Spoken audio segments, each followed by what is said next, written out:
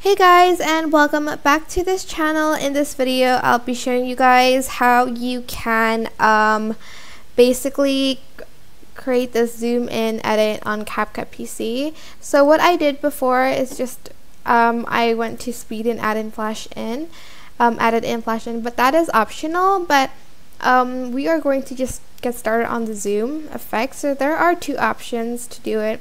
First, you can use keyframes.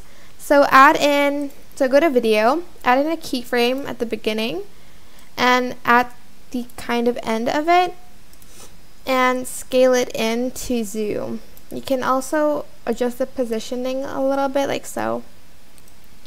And here you'll have the zoom as you can see. You can also um, go to effects, go to basic and choose either mini zoom or slow zoom. I like slow zoom. So I'm just going to add that in and add it to the video. Um, so those are the two ways that you can, I'm just going to delete that. Those are the two ways to do it.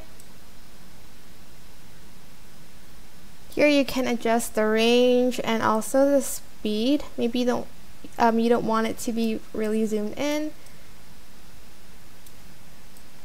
Let's see.